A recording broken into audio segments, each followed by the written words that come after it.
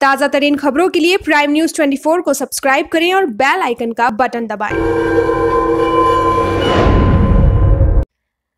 नमस्कार, आप देख रहे हैं प्राइम न्यूज़ 24 मैं हूँ वैशाली।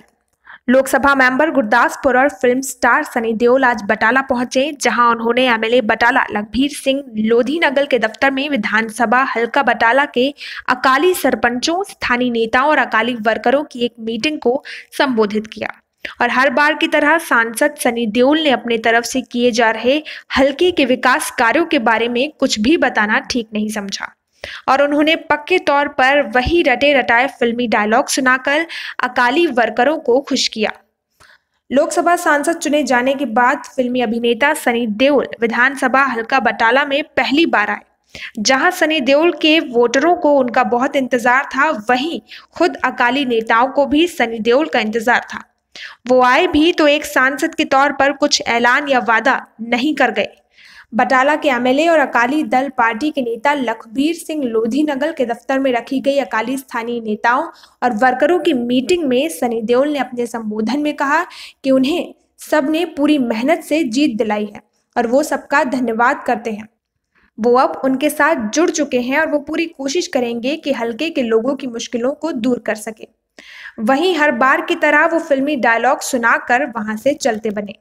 अकाली नेता लखबीर सिंह लोधी नगल ने कहा कि उन्हें इंतज़ार था कि कब सनी देओल आए, क्योंकि वो चुनाव प्रचार में भी उनके हलके में समय नहीं निकाल पाए थे। और जीतने के बाद आज वो आए, इस बात पर वो उन्हें धन्यवाद देते हैं।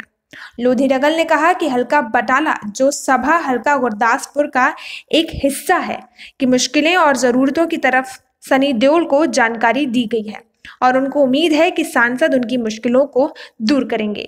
प्राइम न्यूज 24 के लिए जतिंदर कुंडल की रिपोर्ट ਹਰ ਬੰਦੇ ਨੇ ਆਪਣੇ ਜੋਸ਼ ਨਾਲ ਪੂਰੀ ਕੋਸ਼ਿਸ਼ ਕੀਤੀ ਕਿ ਮੈਂ ਜਿੱਤਾਂ ਤੇ ਮੈਨੂੰ ਤੁਸੀਂ ਜਿਤਾਇਆ ਬੋਲੇ ਸੋਨਿਹਾਲ ਤੇ ਜਿਵੇਂ ਤੁਸੀਂ ਜਾਣਦੇ ਹੋ ਕਿ ਸਾਡਾ ਪਰਿਵਾਰ ਪਾਪਾ ਅਸੀਂ ਜਦ ਤੋਂ ਜਿੱਥੇ ਵੀ ਜੁੜੇ ਆ ਹਮੇਸ਼ਾ ਜੁੜ ਕੇ ਹੀ ਰਹੇ ਆ ਪਿਆਰ ਦਿਲੋਂ ਕਰੀ ਕਰਦੇ ਹਾਂ ਅਸੀਂ, ਤਾਂ ਦਿਲੋਂ ਹੀ ਜੁੜਦੇ ਆ ਉਹ ਤੋਂ ਇਲਾਵਾ ਕੋਈ ਜੁੜਦਾ ਹੋਵੇ ਹੋਰ ਨਹੀਂ ਤੇ ਅੱਗੇ ਵੀ ਮੈਂ ਪੂਰੀ ਕੋਸ਼ਿਸ਼ ਕਰਾਂਗਾ, ਕੋਸ਼ਿਸ਼ ਕੀ ਮੈਂ ਜ਼ਰੂਰ ਕਰਾਂਗਾ ਜਿਹਨੇ ਜਿਹਨੇ ਕੰਮ ਹੈਗੇ, ਜਿਹੜੇ ਜਿਹੜੇ ਹੈਗੇ, ਜਿਹੜੇ ਹੋ ਸਕਦੇ ਆ ਜਿਹੜੇ ਪ੍ਰੈਕਟੀਕਲ ਹੈ, ਜਿਨ੍ਹਾਂ ਦੀ ਖਾਸ ਜ਼ਰੂਰਤ ਹੈ, ਉਹ ਮੈਂ ਜ਼ਰੂਰ ਪੂਰੇ ਕਰਵਾਵਾਂਗਾ।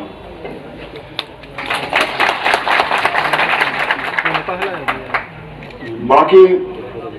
ਤੁਹਾਡੇ ਵਿੱਚ ਆਣਾ ਧਿਆਨ ਨਾਲ ਰਵਾਂਗਾ ਲੋਕ ਜਿਵੇਂ ਇਹਨਾਂ ਨੇ ਕਿਹਾ ਕਿ ਵਿਲਨ ਕਾਫੀ ਹੁੰਦੇ ਆ ਉਹਨਾਂ ਦਾ ਕੰਮ ਉਹੀ ਹੈ ਅਸੀਂ ਹੀਰੋ ਅਸੀਂ ਤਾਂ ਸਿਰਫ ਫਿਰ ਵੀ ਅੱਗੇ ਚੱਲਦੇ ਰਹਿੰਦੇ ਆ ਅਸੀਂ ਕਦੀ ਕਦੀ ਬੁਰਾਈ ਨਹੀਂ ਕਰਦੇ ਬਸ ਅੱਗੇ ਚੱਲਦੇ ਆ ਤੇ ਕੰਮ ਕਰਕੇ ਹੀ ਅਸੀਂ ਅੱਗੇ ਚੱਲਦੇ ਆ ਕੰਮ ਦਿਖਾਣੇ ਆ ਗੱਲਾਂ ਨਹੀਂ ਕਰਦੇ ਕਿ ਮਾਂ ਕਰ ਦੂੰ ਮੈਂ ਉਹ ਕਰ ਦੂੰ ਮੈਂ ਇਹਦਾ ਹੋ ਜੂਗਾ ਆਹ ਹੋ ਜੂਗਾ ਇਦਾਂ ਦੀਆਂ ਗੱਲਾਂ ਅਸੀਂ ਕਦੀ ਕਦੀ ਮੈਂ ਤਾਂ ਕਦੀ ਕੀਤੀਆਂ ਨਹੀਂ ਨਾ ਕਦੀ ਕਰਾਂਗਾ ਹੋਣੀਆਂ ਹੀ ਨਹੀਂ ਕਿਉਂਕਿ ਝੂਠ ਨਿਕਲਦਾ ਹੁੰਦਾ ਕਿੰਨੀ ਵਾਰ ਤਾਂ ਤੁਹਾਡੇ ਨਾਲ ਜੁੜਿਆ ਹੋਇਆ ਤੁਸੀਂ ਮੇਰੇ ਨਾਲ ਜੁੜੇ ਹੋਏ ਹੋ। ਤੇ ਆਪਾਂ ਬਸ ਫਤਿਹ ਕਰ, ਚੱਕ ਦਿੰਦੇ ਹਾਂ ਸਾਰਿਆਂ ਨੂੰ ਕਿ ਛੱਡਣਾ ਨਹੀਂ ਵਾਹਿਗੁਰੂ ਜੀ ਦਾ ਖਾਲਸਾ।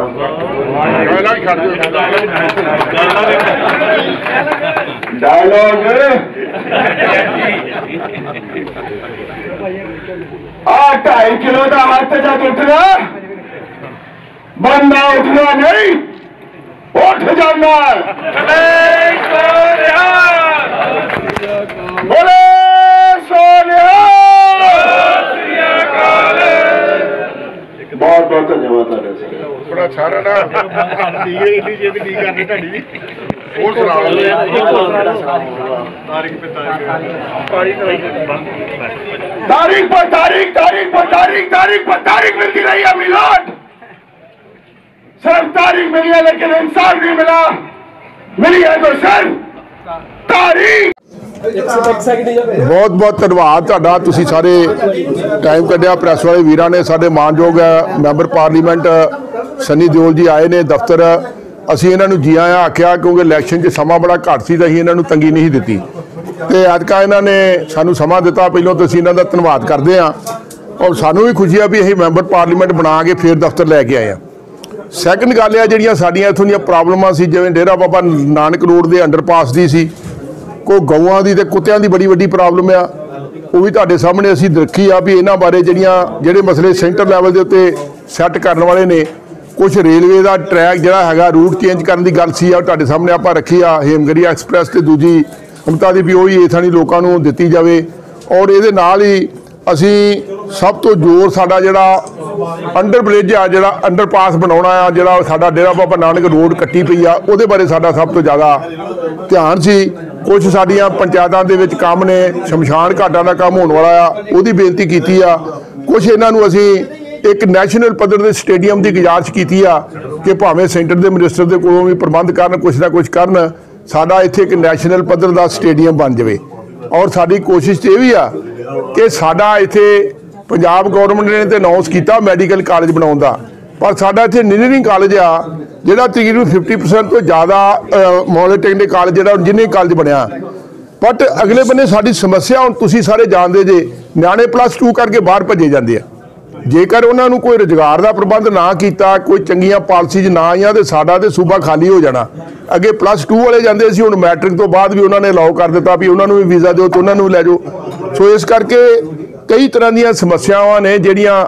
ਇਹਨਾਂ ਦੇ ਨੋਟਿਸ ਵਿੱਚ ਅਸੀਂ ਲੈਂਦੀਆਂ, ਸਾਨੂੰ ਇਹਨਾਂ ਦੇ ਤੇ ਮਾਣ ਵੀ ਆ, ਪੂਰੀ ਆਸ ਵੀ ਆ ਕਿ ਇਹ ਸਾਡੀਆਂ ਇਹਨਾਂ ਗੱਲਾਂ ਵੱਲ ਧਿਆਨ ਦੇਣਗੇ, ਜੋ ਸਾਰੇ ਬੁਲਾਰੇ ਦੇ ਲੋਕਾਂ ਦੇ ਵਾਸਤੇ ਨਹੀਂ, ਇਲਾਕੇ ਦੇ ਲੋਕਾਂ ਵਾਸਤੇ ਸਾਂਝੀਆਂ ਨੇ, ਕੋਈ ਉਹ ਕਿਸੇ ਐਮਐਲਏ ਦੀਆਂ ਆਪਣੀਆਂ ਨਹੀਂ ਜਾਂ ਕੋਈ ਗੱਲ ਨਹੀਂ। ਸੋ ਅਸੀਂ ਧੰਨਵਾਦ ਕਰਦੇ ਇਹਨਾਂ ਨੇ ਟਾਈਮ ਕੱਢਿਆ ਟਾਈਮ ਕੱਢ ਕੇ ਇਹਨਾਂ ਨੇ ਸਾਨੂੰ ਇੱਥੇ ਅੱਜ ਮੌਕਾ ਦਿੱਤਾ, ਇਹਨਾਂ ਦੇ ਰੂਬਰੂ ਗੱਲਬਾਤ ਕਰਨ ਦਾ। ਔਰ ਆਸ ਰੱਖਦੇ ਹਾਂ ਇਸੇ ਤਰ੍ਹਾਂ ਫੇਰ ਵੀ ਆਉਂਦੇ ਰਹਿਣਗੇ ਤੇ ਅਸੀਂ ਇਹਨਾਂ ਕੋਲ ਆਪਣੇ ਦਿਲ ਦੀਆਂ ਗੁਜ਼ਾਰਿਸ਼ਾਂ ਜਿਹੜੀਆਂ ਕਰਦੇ ਰਵਾਂਗੇ। ਵਾਹਿਗੁਰੂ ਜੀ ਕਾ ਖਾਲਸਾ, ਵਾਹਿਗੁਰੂ ਜੀ ਕੀ ਫਤਿਹ।